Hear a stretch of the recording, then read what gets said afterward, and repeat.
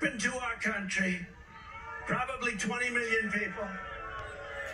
And you know, that's a little bit old, that chart. That chart's a couple of months old. And if you uh, want to really see something that's said, take a look at what happened.